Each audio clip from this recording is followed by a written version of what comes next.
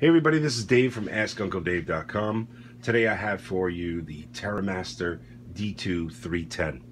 This is a direct attached storage device uh, that you put two hard drives in. This is a two bay. They also have four bay and a whole bunch of other bays. But this is the two bay version and you can put hard drives in here and depending on how you set up the RAID uh, or the configuration, you can get uh, a lot of storage on here. I have two six terabyte Western Digital red drives in here. So I can have up to 12 terabytes of uh, storage, and that's a lot of storage. It's great for photographers and people who have a lot of media because the transfer speeds are very quick. It has two wires that it comes with. It has a USB-C to USB-C. So on your newer MacBook Pros and your newer Samsung uh, Windows PCs, uh, you have just USB-Cs. You can use this wire and transfer very fast. Uh, you can also have a USB-C to a USB 3.0, like uh, a lot of the computers still out there, and you could transfer files from your PC and Mac and, and transfer them right onto this hard drive. Now, I'm going to show you around the box first, and then I'm going to explain to you all the different RAID modes that you can put this in. I'll give you a little bit of detail so you understand uh, what you're getting into. So it comes with a pamphlet like this, and it tells you pretty much to go to start terra-master.com. And it's pretty much just to tell you how to uh, travel through and uh, set up all your, you know, the two drives that you have on there. It also comes with a bag of screws. I'm using eight of them right now, but it comes with extra ones. It's got this little screwdriver uh, that you can change the different RAID modes in the back. And then it's got the reset uh, tool, so you can reset uh, if you decide later to go from RAID 0 to RAID 1 or whatever. So let me show you in the back first so I can explain a little bit about RAID and things like that. So in the back here, we have a dial back here that you use that little mini screwdriver and you turn the arrow to what uh, one of the four settings that you can use. It's got RAID 1, it's got single, it's got JBOD, and it's got RAID 0. It's got the power right there. You can hook up that USB-C wire and the other end goes to your computer. It's got a nice little fan that only runs when it needs it. Um, so I saw other videos where it says it runs all the time, but it doesn't. Uh, it stops. It's got the little feet on the bottom and some vent holes. Uh, and in the front here, we got a power button. And the power button is good because it will uh, be able to power off by pressing that and it'll just shut off and the drives will disappear. And you use uh, Windows Explorer and Finder to, uh, you know, access the drive uh, when it's plugged in and powered on. So uh, we have the indicator lights here for drive 1 and drive 2 and they'll blink when there's activity. There's a power button that lights up so you know how to power it up. Now let me explain the four different uh, RAID modes, okay? So first of all, let me take out the drive so I can use visuals to explain it to you. So here's how it works.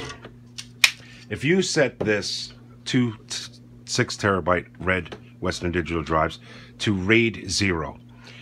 Now, what's going to happen is when the data comes in from the wire, it's going to uh, stripe it. It's going to go, some information will go on this, some will go on this, some will go on that, some will go on this. But basically, you get the 12 terabytes and it shows up as one volume, like one hard drive letter on your computer. Uh, it's very fast. Uh, it's probably the fastest way, uh, but it does have to write to both disks and it both has to read from both disks. There is no redundancy when it comes to RAID 0. So if you have RAID 0 and you lose one of the drives, you're going to lose everything because some information's on here and some information's on here. It's fast. You get 12 terabytes, but and one volume, but you uh, will lose stuff if one of the drives fails. Okay, that's RAID 0. Now RAID 1 RAID 1 is a mirror of one drive to another. You only get 6 terabytes when using these two drives, but it mirrors the information that's on one drive to another. Uh, so that if one of the drives goes, you still have your 6 terabytes of stuff uh, on one of the drives, whether it's this one or this one. Okay, so that's much slower because it's got to write to both drives, it's got to read to both drives, and it's got to do everything double. So we get a little bit slower speed, but you get a copy of your information. Now, there's another setting called JBOD. Now, JBOD, um, you're going to get one volume, 12 terabytes, okay? But it will have no redundancy, meaning you're not going to be able to, uh, you know, if one drive fails, have it on another drive saved. It's going to save it on one drive. Maybe it'll save a whole file on this drive. Maybe it'll save a whole file on that drive. But you're going to have 12 terabytes. Now, JBOD is great if you're using like two different drives uh, that are different sizes. So you'll get 500 and this one's 320. So you're going to get a total of 820 uh, terabytes, or I should say gigabytes in this case. So we're going to get uh, a com combination. They don't have to be exactly the same size each, and you can just put a whole bunch of drives, but it will make one volume for you with no redundancy, no copy. Uh, you lose one, you lose everything. Then there is the next configuration, which is called single. Now, single, uh, you'll have two separate drives, two separate drive letters uh, to each one of the drives that's inside this uh, device. So you will have no redundancy, no copy. Uh, there'll be two separate volumes, like six terabyte and a six terabyte drives, you know, D and drive E or whatever, and it will be, uh, you know, just independent uh, from everything. Okay. So the only way you're going to get a copy is is if you do RAID uh, one. If you do RAID one, you make a copy and they mirror each other. So I hope that helps to explain all the four different settings that you can set this to. So now let's go on the PC and we're going to uh, figure out how, you know, what happens when you first go to that website on the uh, pamphlet here and it's very easy. It walks you through it. There's a compatibility uh, section on the website. I'm going to leave all the links in the description. Okay, so we have the uh, website that you need to set up this device. So we're going to do the D2 310 and we're going to hit start and what it's going to tell you is that you should format the drives first. So we're going to power on the unit by pressing the button on the front and it's going to power up. It's going to check what mode you have it set to, and it's going to pop up and say that you need to initialize it. Okay. So I currently have it set up to single. So two dialogues are going to pop up, and it's going to say initialize, initialize. So we can hit initialize, initialize, and you're going to see because it's on single that you're going to have uh, two separate drives uh, independent from each other. Okay, so let me now power it off. I'll power it off, and I'm going to switch the dial to uh, RAID 0. So let me go to RAID 0. Okay, and now I'm going to pin the reset button as I power up. So I'm going to power up and I'm going to hit the reset button for five seconds. One, two, three, four, five. And let it go. And now it's going to look at what you have set in the back and it's going to pop up these dialogue, uh, one dialogue that shows, oh, sorry about that. Um, I have to wait for it to be powered up. I switched it over and now I'm going to hit the reset button. So one, two, three, four, five.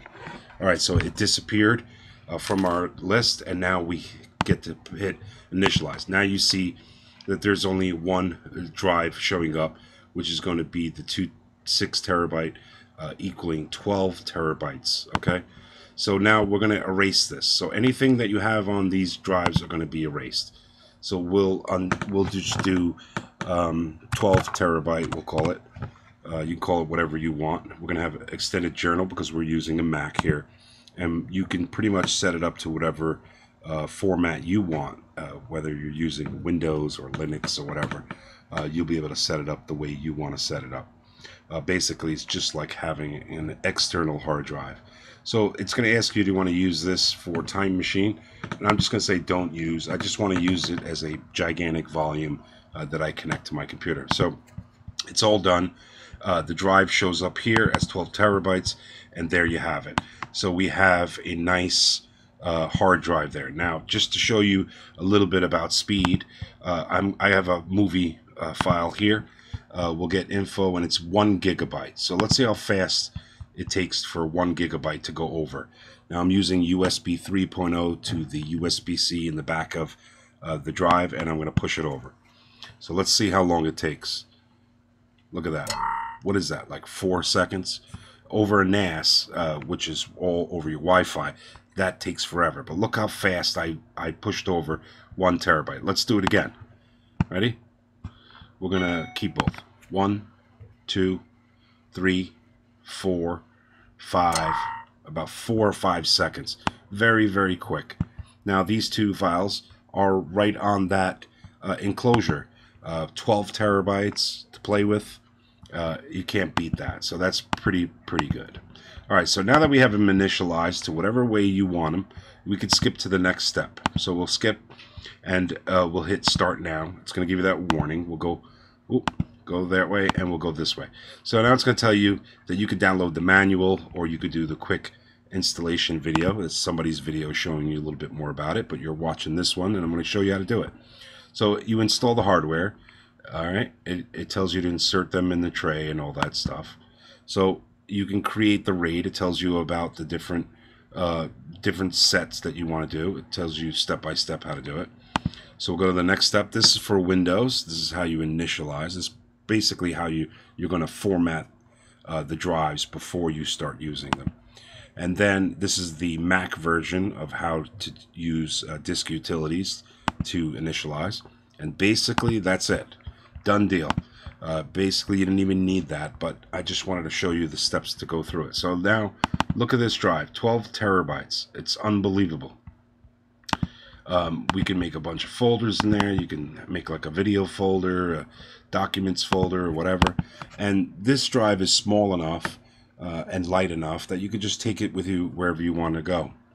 Um, my next thing is I'm going to hook it up to my NAS in one of the USBs, and I want to see if it actually shows up as 12 terabytes. Uh, and I'll put that in the description. So if you're interested in something like this, if you have any questions, please put them in the comments, and I will get back to you very fast. If you know me, I get back to you really, really quick. So I hope you enjoyed this video, and I will see you on the next video. Thank you.